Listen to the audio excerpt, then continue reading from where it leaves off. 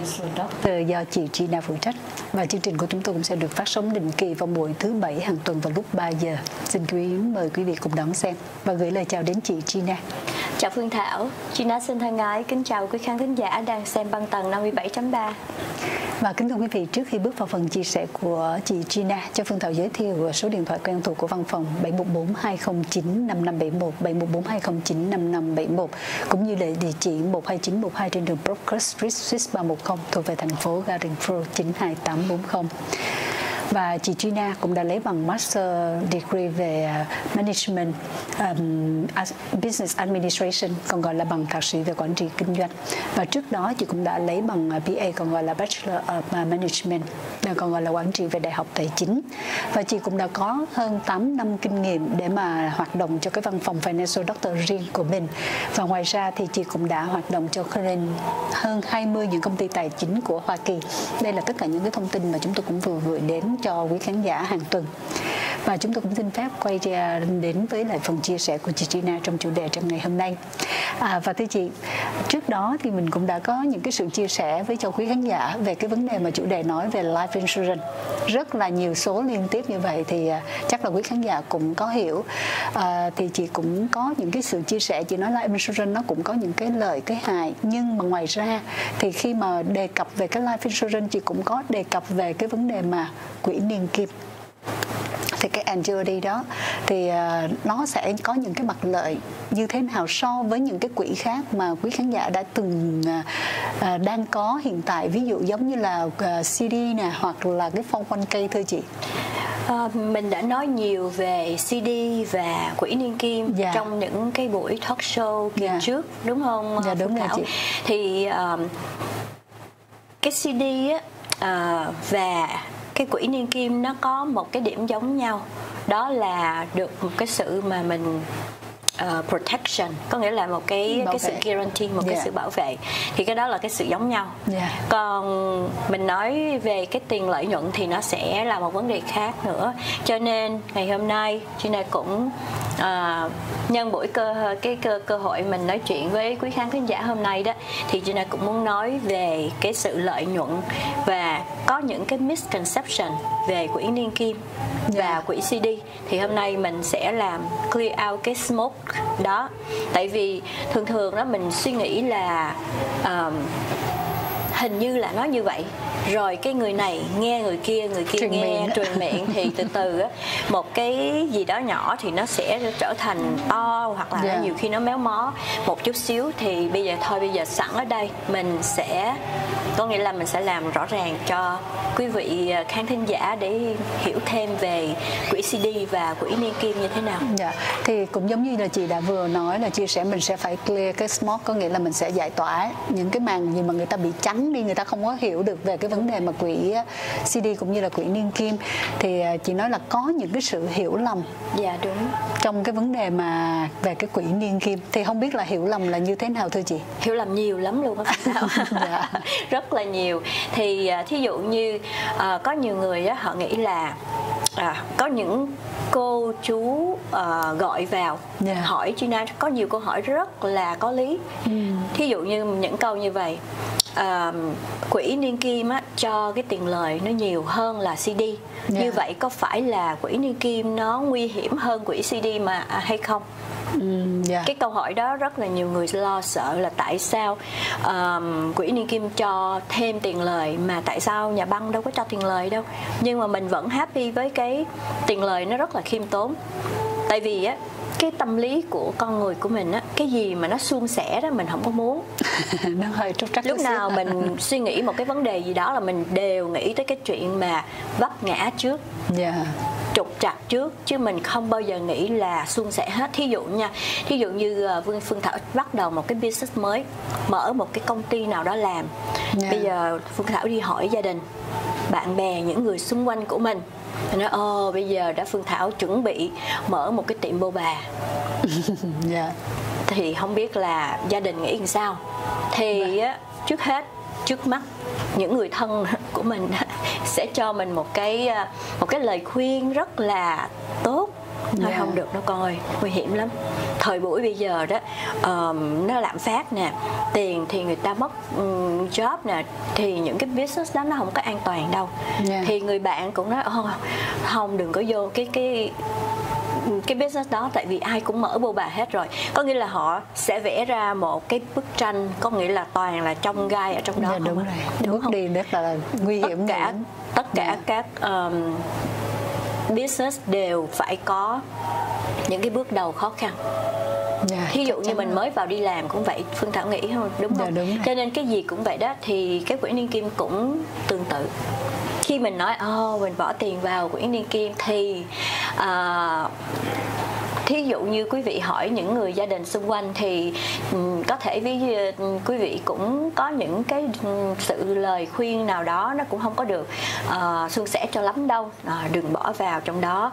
Uh, sẽ bị kẹt tiền nè mà nó lời nhiều quá đó thì cũng không có được uh, an toàn cho lắm. Thì hôm nay Gina sẽ uh, nhân cơ hội này cũng muốn chia sẻ với quý vị tại sao quỹ niên kim uh, được lời nhiều hơn quỹ CD Dạ, nếu mà chị khi mà chị đã đưa ra cái câu hỏi đó thì chắc là mọi người ai cũng thắc mắc hết tại vì đôi khi người ta cảm thấy rằng là cái số tiền người ta để trong cái quỹ CD vẫn là một cái sự an toàn.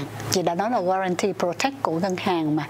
Thì bên đây thì cũng được đảm bảo đảm bảo y chang giống như vậy, không có một cái gì mà khác Đúng biệt rồi. hết. Chỉ có cái khác biệt đó là dạ. thí dụ như nhà băng đó là những người private investor phương thảo yeah. Dạ. thì họ nhận cái số tiền của người khách hàng rồi sau đó họ làm sao họ lấy cái số tiền đó đó họ trả một chút cho người khách hàng và họ sẽ đem cái số tiền đó họ lông lại cho người khách hàng của họ.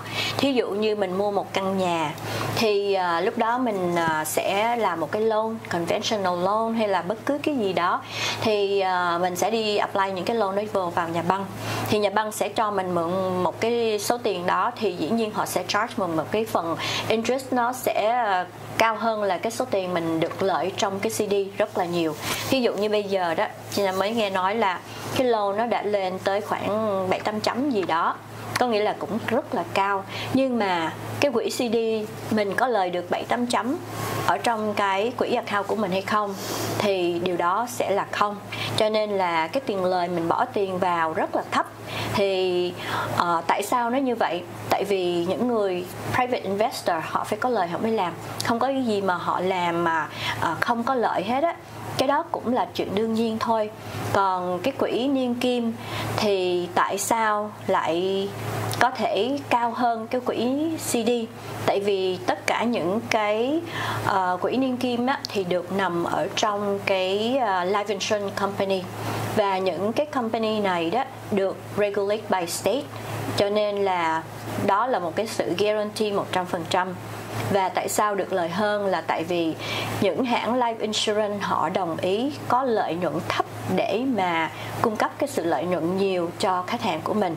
Cái đó là một cái sự bảo đảm và họ được regulate by state, cho nên đó là sự khác biệt. Thành ra là thí dụ như quý quý khán thính giả muốn bỏ tiền vào trong quỹ niên kim, đó là một cái sự chọn lựa đúng đắn, tại vì đó là một sự bảo đảm trăm phần trăm. Mình có muốn tiền của mình double trong 10 năm hay không, thì đó là sự lựa chọn của mình. Dạ thưa chị. Và về cái vấn đề mà khi mà chị nói là cái số tiền của mình bỏ trong đó mình có thể lên double cái số tiền. Nhưng mà cũng có những cô chú lớn tuổi thì họ vẫn có những cái suy nghĩ là ăn chắc mặt bền đúng không thưa chị? Thì à, đôi khi là cô chú nói thôi kệ nó để ngân hàng thì cứ để đi. Tại vì cái quan niệm cũ hồi xưa của mình bên Việt Nam mình cũng để ngân hàng.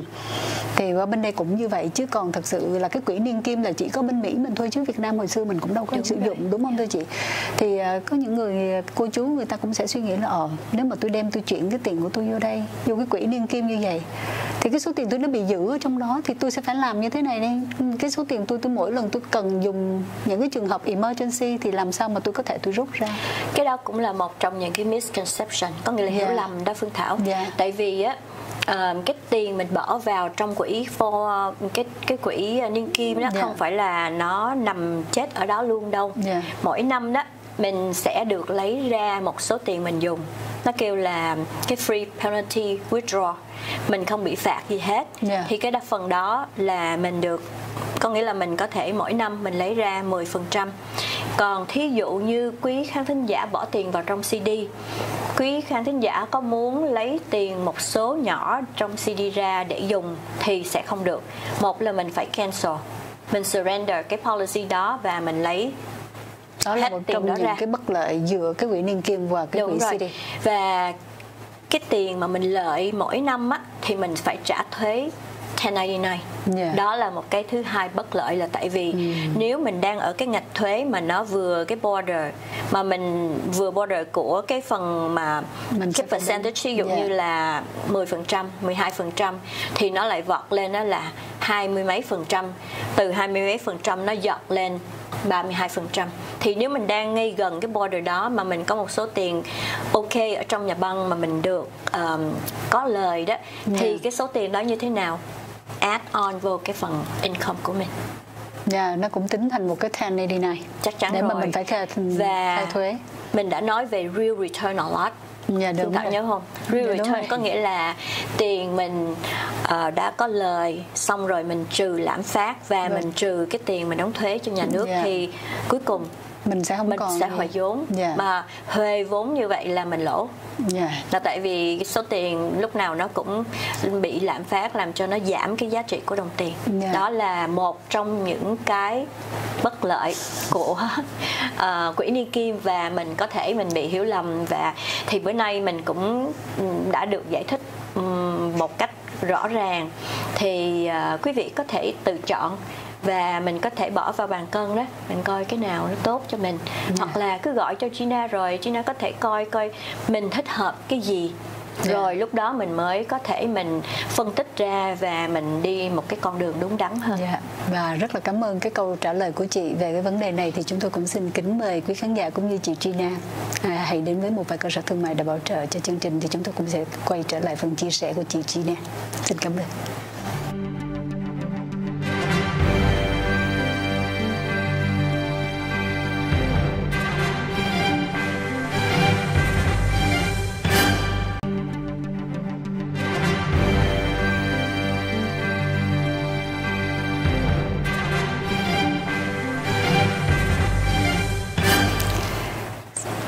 Cảm ơn quý khán giả vẫn đang dự hệ thống bằng tầng VNTV và vẫn đang xem phần chia sẻ của chị Gina trong ờ, chương trình Financial Doctor của chị. À, và chúng tôi cũng sẽ quay lại về cái chủ đề chia sẻ gian dở lúc nãy khi mà cũng vẫn là những cái vấn đề hiểu lầm trong cái vấn đề chuyển quỹ niên kim và CD. Thì thưa chị à, khi mà đã chị đã giải thích rất là cặn kẽ về cái vấn đề là à, khi mà mình đem tiền qua đây một cái lợi của mình là mình à, có được cái sự uh, phần trăm rất là tốt cho cái quỹ niên kim. Và cái tiền của mình sẽ không phải tính liền cái income trong cái thời điểm đó nếu mà mình không có rút ra. Đúng rồi. còn nếu mà cái quỹ CD mình bỏ vào đó mình vẫn có những cái lợi nhuận. Nhưng mà muốn mà lấy ra cái trường hợp emergency thì phải cancel cái hợp đồng đó để mà có thể làm lại từ đầu. Đúng rồi. Dạ. Nó có nhiều cái bất lợi lắm Phương Thảo. Dạ. tại vì thứ nhất là mình phải cancel policy và mình sẽ có một cái surrender charge rất là nhiều. Dạ. Và những cái tiền lời mà mình kiếm không đáng kể đó đó sẽ không thể nào mà mình bù lỗ vào cái tiền mà mình bị charge cái Yeah. surrender charge. Thành ra cái đó là cái different. Còn thí dụ như bên quỹ niên kim đó thì mình lời cũng rất là ok.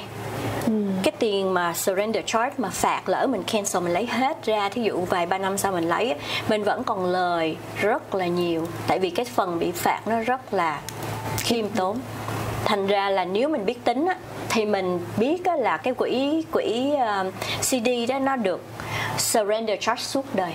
Là tại vì cứ 5 năm đáo lại 5 năm khác 5 năm nữa 5 năm nữa và lúc nào cũng bị một cái surrender charge hết. Còn quỹ Yeah. niên kim nếu mình biết á nó chỉ có 10 năm thôi. Nếu mình muốn bỏ vào 10 năm và cái tiền surrender charge mà nó phạt mình nếu mình là đổi ý đó tại dĩ nhiên mình có hợp đồng mà Yeah. mình nói là ok tôi muốn bỏ vào 10 năm mà bây giờ mới 5 năm thì dĩ nhiên mình bị phạt rồi Yeah. nhưng mà vẫn có những cái plan đó mình những cái chương trình mình bỏ vào 3 năm 5 năm, 7 năm, 10 năm tùy theo mình chọn nữa yeah. rồi nó có những cái phần kêu là immediate annuity và defer annuity nữa. Cho nên là nó nhiều lắm, nó rất là bao la, phương thảo. Nhưng mà cái lợi mà mình phải, có nghĩa là mình phải biết á, đó là cái sự tiền lời. Mình phải chase với lại cái lạm phát nếu mình không chase với lạm phát và mình lại phải đóng thuế cái năm đó nữa thì dĩ nhiên tiền mình bỏ vào mình không lời mà mình bị lỗ Dạ, yeah. thì đó cũng là một trong những cái vấn đề rất là thắc mắc của em cũng giống như là em nghĩ là chắc là những quý vị khán giả họ cũng đang có những cái suy nghĩ là đang có một cái sự lưỡng lự để mà có thể mà chuyển đổi qua từ cái quỹ CD qua à, cái quỹ à, niên kim thì quý khán giả nếu mà có cần giải thích cặn kẽ và có những cái thắc mắc thì hãy gọi điện cho số của chị Gina là 714 209 5571 714 209 5571 thì chị cũng sẽ trả lời rất là rõ tùy theo trường hợp tùy theo mỗi cái statement của mỗi cái cái case của mỗi quý khán giả như thế nào nhưng mà đôi khi thì à, em vẫn còn những cái thắc mắc ví dụ giống như là cái khi mà mình bỏ vào cái quỹ niên kim đó so với những cái ở thì à, nó như thế nào thưa chị? À, nó cũng đơn giản lắm Phương Thảo. Tại vì cái quỹ niên kim thì cũng là một cái phần giống như là mình gọi là cái IRA đó thì gọi là individual uh, retirement account. Mình có thể control được cái account của mình rồi thí dụ như mình muốn bỏ vào thì mình chỉ có một số giấy tờ gì đó mình tới để mình làm mình finish thì trong chừng khoảng 15 20 phút mình có thể là mình xong cái cái process rồi. Thành ra là nếu quý vị có những câu hỏi nào hoặc là đang có những cái um, tiền ở trong CD hay là những cái số tiền mà mình không có dùng đến á thì mình có thể mình hỏi, có nghĩa là mình sẽ có một cái ờ, một cái sự so sánh trước đi. Kiểu mình có thể mình gọi là tư vấn đó. Thì Gina có thể giúp cho quý khán giả hiểu được là mình nên bỏ tiền chỗ nào hoặc là uh, làm sao để mình được gấp đôi cái lợi nhuận đó. Rồi sau đó mình quyết định là mình làm hay không thì cái chuyện đó là cái sự quyết định của quý vị. Mình sẽ không có một cái sự mà uh, kêu là obligation có nghĩa là mình ngại đó. Người việt của mình rất là nhiều khi có nhiều cô chú á, ờ, ngại gọi đó nó là sợ. Thí dụ như gọi mà không làm gì hết rồi. Uh, Gina buồn tốn thời gian của Gina này nè không? Cái này là cái job của Gina cho nên là cô chú đừng có lo.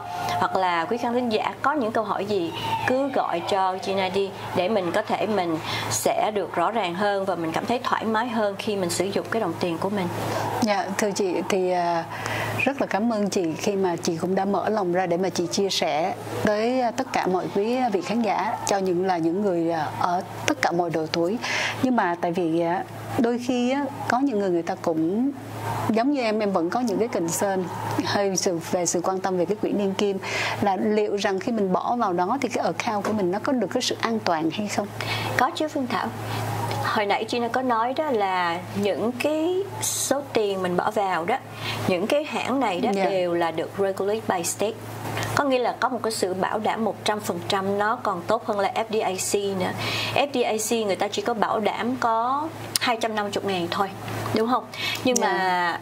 cái này thì những cái account này đã được bảo đảm 100% mình có một triệu mình được bảo đảm 100% của một triệu đó chứ không phải chỉ có 250 ngàn mà thôi đó, thì quý vị vị khán giả nghe một cái câu hỏi và đó là một cái sự quan tâm của người Phương Thảo về cái vấn đề mà cái account của mình khi mà mình chuyển đổi qua annuity là cái quỹ niên kim. Thì quý vị cũng đã nghe chị Gina giải thích rất là cặn kẽ là sẽ được regulate by state khi mà cái số tiền của mình bỏ vào 100 ngàn thì cái hãng bảo hiểm đó họ cũng sẽ đủ cái reserve là một trăm ngàn để mà bảo đảm cái số của tiền của mình thật sự là an toàn. Ngoài ra thì à, cái annuity nó cũng một cái lợi là mình sẽ được cái à, percentage cái mỗi tiền năm. lợi nó rất là khả dạ. quan. Cho nên mình cứ tính nó là rất là đơn giản. Thí dụ mình bỏ vào mình sẽ được một cái số lợi nhuận bonus liền right away yeah. Dạ. lập tức cái ngày đầu tiên là tại sao chị có thể ờ, đưa ra một cái ví dụ ví dụ là mình đưa ra một cái con số ờ, khoảng 10 ờ, ngàn thôi okay, cho nó dễ ngàn. tính đi mình cái lợi nhuận cái bonus mà công ty sẽ cho mình liền là như ừ. thế nào thưa chị thí dụ mình có 10 ngàn yeah. Dạ. thì mình bỏ vào mình được 25% của 10 ngàn ừ. bonus là hai ngàn rưỡi yeah. rồi mỗi tháng mỗi năm đó cái này mình tính là mỗi năm chứ không phải mỗi tháng yeah. Dạ. mỗi năm mình được lời 10 phần trăm mỗi năm được lời 10 phần trăm. Lời, lời 10 phần trăm. Và cái loại đó mình gọi là mình mình plan làm sao để mà 10 ngàn này nó cứ để trứng vàng hoài cho mình thì mình sẽ lấy lifetime income. Uhm. lifetime income có nghĩa là 10 ngàn đó đó tiếp tục xanh soi nảy nở. Và 10 năm sau á mình sẽ có double của 10 ngàn đó. Được 20 ngàn. Hơn 20 ngàn. Hơn ví dụ 20 mình là ngàn, tại vì khoảng mình còn có- 22 500 năm 2500 là tại vì mình còn có cái tiền Tại vì 10% mình lấy 72 mình chia cho 10 thì mình Dạ, có là 7.2. 7.2 mình double thì 10 năm thì mình sẽ có trên 20 ngàn. Dạ đó là con lại đó là con số mình mình tính. Đó rất là ờ, đơn giản ờ, quý vị. Mình cứ lấy 100 ngàn mình nhân 25% mình có 25 ngàn lợi nhuận. Mỗi năm mình lợi 10% trong vòng 10 năm thì mình sẽ có 225 ngàn. Đó là một con số rất là dễ tính và mình sẽ được lấy lifetime income, có nghĩa là mình lấy tiền mỗi năm, hoặc là mỗi tháng, hoặc là mỗi quarter. Thì khi mà mình lấy tiền như vậy đó, tiền nằm ở trong cái quỹ niên kim của mình nó vẫn tiếp tục sản xuất tiền cho nên là mình xài cho tới lúc mình qua đời và họ guarantee, họ bảo đảm với mình là không bao giờ cạn được cái nguồn tiền đó tại vì mình không chơi với stock. Dạ, đó, một là cái sự cái sự an, toàn ha. an toàn một trăm phần trăm.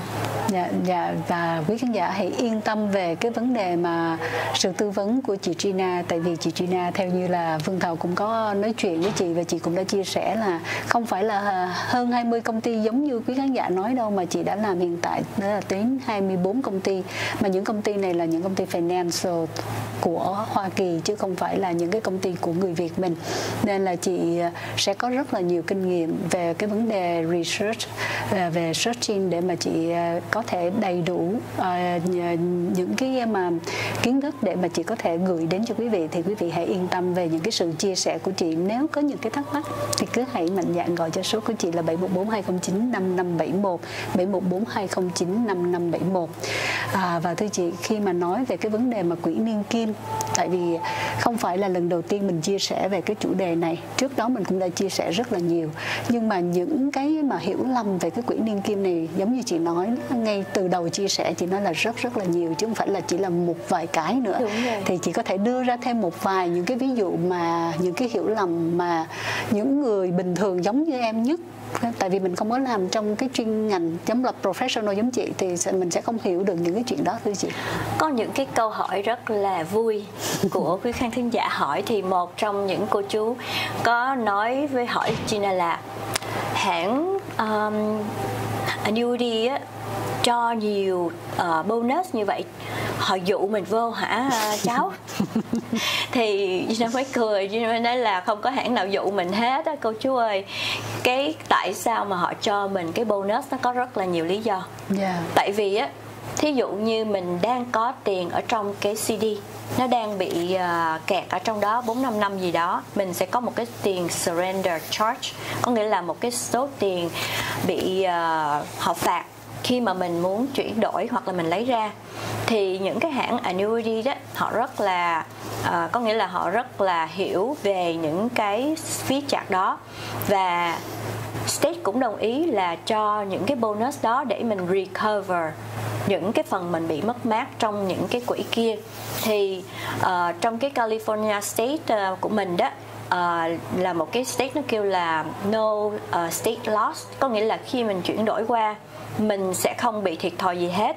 Nếu cái tiền mà bonus á, nó cover được cái surrender charge, có nghĩa là tiền phạt, thì họ mới đồng ý đổi. Còn nếu mà cái tiền mà mình bị phạt nhiều hơn cái tiền bonus thì cái hãng annuity họ sẽ không có nhận. Đó là một cái sự rất là rõ ràng và giúp cho cái người mà có cái số tiền bị phạt đó sẽ không bị thiệt hại gì hết.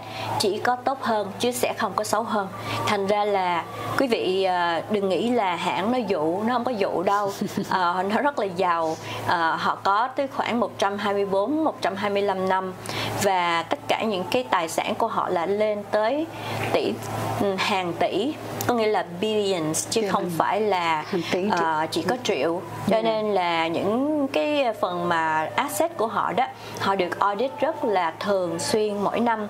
Ờ, nó có những cái audit ờ, department của state rồi họ xuống họ audit và những cái fund mà họ được ờ, đem đi để họ ừm, làm ra tiền cho mình á ờ, cũng rất là hạn chế và rất là khó khăn chứ họ không được bỏ vào stock ờ, không có bị ờ, nguy hiểm cho nên những cái phần đó quý vị rất là an tâm À, cảm ơn sự chia sẻ của chị.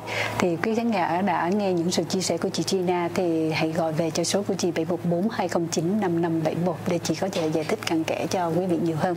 Và chúng tôi cũng xin rất cảm ơn quý khán giả đã theo dõi chương trình của chị và xin cảm ơn chị. Cảm ơn Phương Thảo. À, Gina xin à, thân ái kính chào quý khán thính giả đang xem băng tần 57.3. Xin hẹn gặp lại quý khán thính giả vào à, buổi nói chuyện khi tới. À, Gina xin chúc à, quý khán thính giả có một ngày à, um, cuối tuần vui vẻ và hạnh phúc bên gia đình của mình.